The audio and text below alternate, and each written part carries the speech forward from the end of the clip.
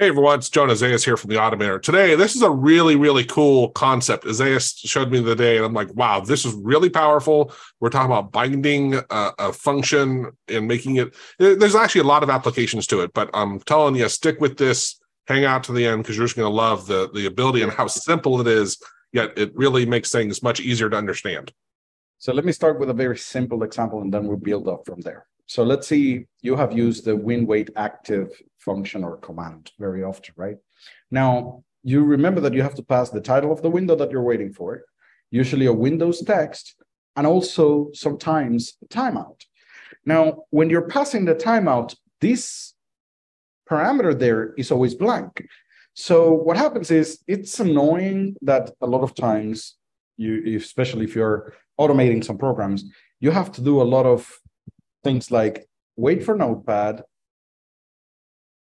blank, and then for five seconds, for example, right? Now you have this blank parameter there all the time. And what if you don't have to put those two commas there? What if you just pass two parameters? Well, you can. What we can do is kind of like rename or refactor in some way that particular function to do whatever I want. So I would say, you know what? I'm going to bind that function. And binding just means grabbing one of the parameters or many parameters, depends on what you want to do, and setting a specific um, uh, parameter there all the time, even if I don't pass it. And in this case, the first parameter, which is the one on the left, I don't care about it. But the second parameter, I always want to pass blank to it for now. That's what I want to do. And I'm going to call this new function, that's where renaming comes into place, win, wait, timeout. And I'm going to, this creates a variable, and I now called my function win, wait, timeout.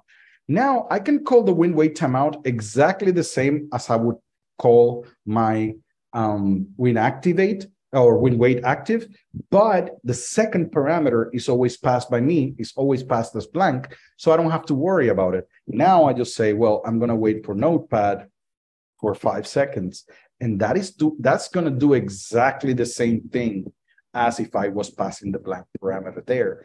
I just bound it, and every time I call win wait timeout, and you can call it as a function if you want, right? Like this, so that it makes sense. So now the second parameter, even though I didn't put it, right. and, and you might think, oh, but this is the second parameter. Yeah, it's not. It's not well, because you're being pass you're passing it here bound already. That's it is the second parameter of your function. Of your but, function, right. But when it gets pushed back into there, it's actually the third, right? Exactly. That is correct. So now let's take a look at it in a more. Yeah, well, when you were explaining this to me, like in my head i'm like oh i get it. I'm setting a default value so to speak. But yeah. in in AutoHotkey you if you can't just set like the third thing is having a default value. If you're going to have a default value you can't leave the other one blank right? This exactly. gets around that. Like suddenly you're like oh it's very that's, that's cool. totally right. So let's say yeah. let's let's go ahead and create a personal function. Let's call it my function. So and you have parameter one so let's make it P1 for make it short, P2 and P3. Now, if you want the second parameter to be optional, you have to make number three optional too. But what if I don't want to? Yeah, that's the problem. So let, my, my function is just going to show the parameters P1. Um, it's going to have a space P2 and P3. And basically, as it is defined, every time I call my function, I have to pass three parameters, one, two, and three. Always. So if I do this, uh, let me see, hold on, uh, P1, P2, P3, message box. Oh, because I misspelled that. It's not message box. so as you can see, everything is simply, I passed three parameters, it took the three parameters, it displayed them. If I don't pass one of the parameters, it's going to complain about it. Yeah. So, hey, you're not doing it right. If I want the second parameter to be optional, yeah, tough luck, you can't, unless you make number three optional too. In this case, I have to do this. Um, but with saying, you know what, um, yeah, leave that function exactly as it is, but bind the second, or let's say the first parameter to blank. Now I will call my function again. And hold on, let me make it. Uh, You need a different name there, don't you? yeah, so because I have Okay. to save it into a variable. Yeah, so this is going to be my uh, my new function, right? Yep. Now, whenever I call my new function, now I can pass two parameters to it. Now, let's say one and two, and it will pass the first one automatically for me. And you will not notice it right now because it's blank. But let's do this. Let's name this. This is P1, right? This is P2, and this is P3. And you will now see that the first parameter is blank. And the second parameter says one, and the third one says two, because I bound the first one. And now just add change that to have a value. Right. There you go. Now that'll be very clear of like Yeah, so now the first parameter, even though I'm not passing it on my function, it is going to be there and it's, go- it's going to be saying first all the time. Now, this is the interesting part. I can bind as many parameters as I want. So this Right. is going to say third. And now I'm just passing number one in here, and two parameters are bound. So now the first and third parameter are bound by my new function. And the one in the middle, whenever I pass a parameter, is the one that is going to be passed to it. Um, now, let me check this. If I pass a parameter here, it's going to tell you, it's going to say, hey, you're passing too many parameters to it. Because it's telling you, hey, you cannot do that because I already, I'm already passing those. You see? So it is, it is a very specific name. So if you want a different, the same function, but bound in a different way, you can do it. So let's call it my first, third, right? So those two are bound. But I could also bind only the second parameter. So I don't need this one. And I don't want to bind this one either. And this is my second. So now when I call my second, I have to pass two parameters. I have to pass the one and the three. And the second is bound. But if I call my first third here, I cannot pass two parameters to it. I only have to pass one to it, and it is bound for the Yeah, other that- two. that's phenomenal. Right. So you can call the same function in different ways if you want, and so on. So now that you know more or less, you know, what the idea is about binding the parameters, when would I use this? There's a very one that I have not done myself, but it is like, yes, sure, you can do that. If you have problems with DLL calls, I have an example here of a DLL call, right? Let me that we go back here. What you will know is that in DLL calls, the name of the function never changes. It's always the same for that function, right?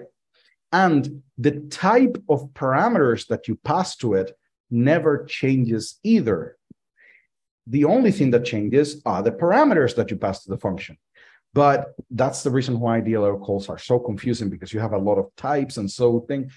If you figured the DLL call out, then bind those parameters and make it simpler for you. So this is the window get window rectangle, which gives you the bounding rectangle, the, P, the, the X and Y positions of each of the points of the window. Let's call that get rectangle. So let get win rectangle. So I, I, I want a shorter name and I want to bind the DLL call. What I want to bind, I want to bind that. I want to bind that. I don't want to bind this, and I don't want to bind that. Those are my bound parameters now, right? Now, whenever I call get win rect, I just have to pass those two things. So let's go ahead and call it. So right here, I'm going to call my get win rectangle. And the first thing was the window active when exist or window exists. That gives me the handle. And the second parameter is the rectangle. Now my code looks, looks cleaner. it looks like a normal AutoHotkey function, but every time I'm calling this function, it's automatically calling DLL call with those three parameters. And this will work. So just by doing that, what it's going to do is that um, if I run the script and I hit F2, it is going to give me the four positions of that particular window. So the left corner, which is here, is at minus one. This is because of DPI settings that I have set up right now.